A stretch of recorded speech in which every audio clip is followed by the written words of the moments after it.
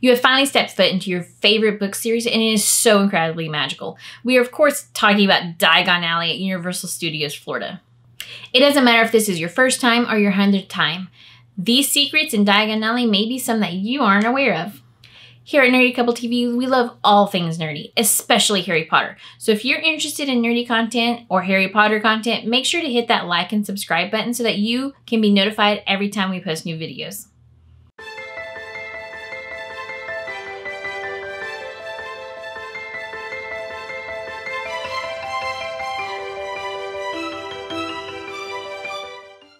Diagon Alley is pretty magical on its own. It's literally one of our most favorite places anywhere.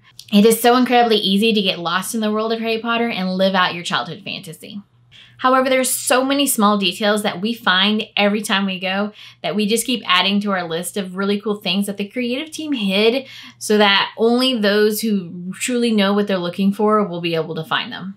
So here's our list of 10 secrets in Diagon Alley that you may not be aware of. Over by the Magical Menagerie at the back of Diagon Alley, there is an alley.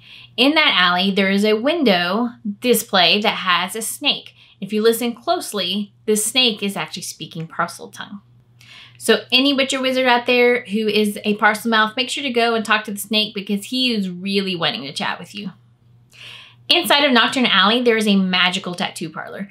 Granted, you can't go into this tattoo parlor, but you can see it through their door and window. And the magical tattoos are pretty cool. They actually move. So make sure to go over and look at those magical tattoos and see if any of them inspire a tattoo that you might get in the future. Inside of Madame Malkin's, you can get your school robe for whatever house that you got sorted into. However, there is a full-length mirror there that you can make sure that the outfit, that the robes that you're wearing is a perfect fit. When you stand in front of the mirror, the mirror will actually talk to you. And most of the time, it will give you compliments on the way you look. So make sure to use that mirror when you go to try on your robes so that it can tell you what you actually look like. Inside of Weasley Wizard Wheezes, if you look up at the very top, there is actually fireworks that are like going off. These fireworks are a throwback to the fireworks that Fred and George set off at the end of Order of the Phoenix when they were leaving school. And you can actually see them with her fireworks again, promoting their Weasley Wizard Wheezes in Diagon Alley on the train ride at Universal Studios from Hogsmeade to King's Cross Station.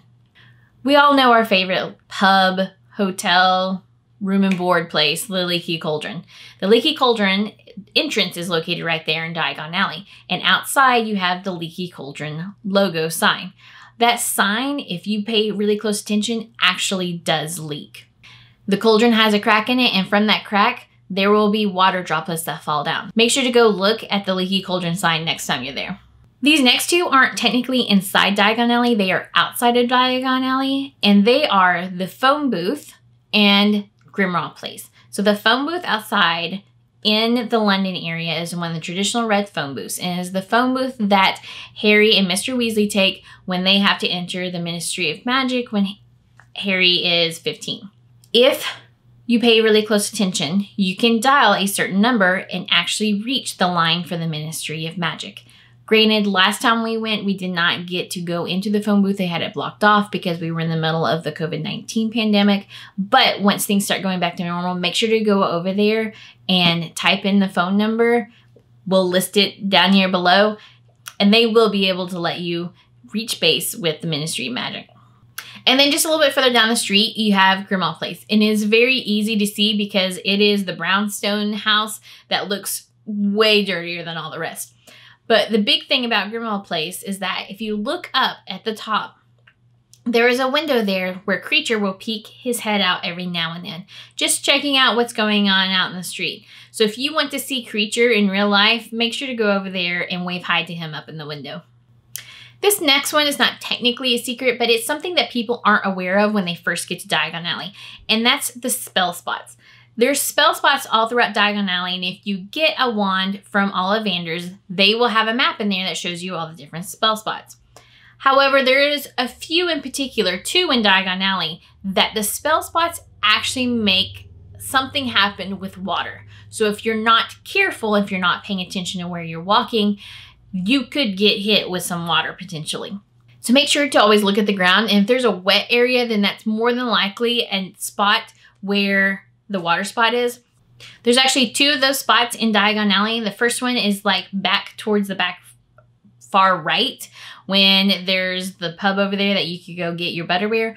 There is a mermaid statue statue right there in the center, and that mermaid statue actually shoots out water.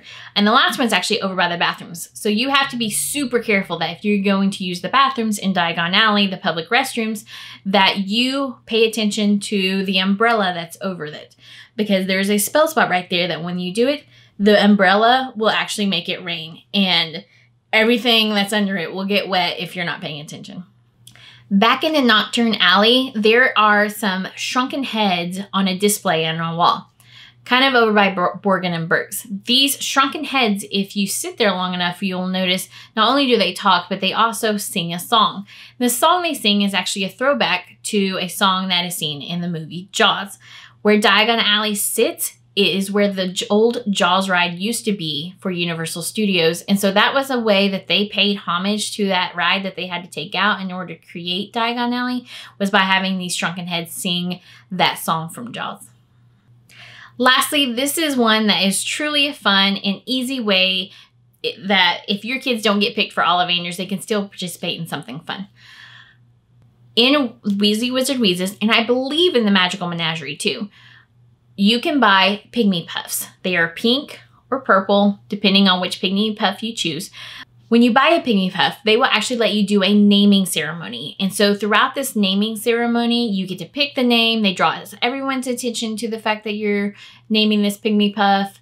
And they even give you care instructions for your pygmy puff. So it is very interactive as you're checking out, but it is super fun and it's an easy way to get your kids involved with something if they got skipped over for the Ollivanders wand picking. So were any of these surprises to you? If so, let us know below which ones were surprises or did we leave one out that you thought we should mention? Make sure to let us know which one we left out. We will see you next time here on Nerdy Couple TV and remember, there's always another switchback. If you like this video, make sure to hit that like button and smash the subscribe button because we want you here every time we post a new video so that you can join us with our nerdiness.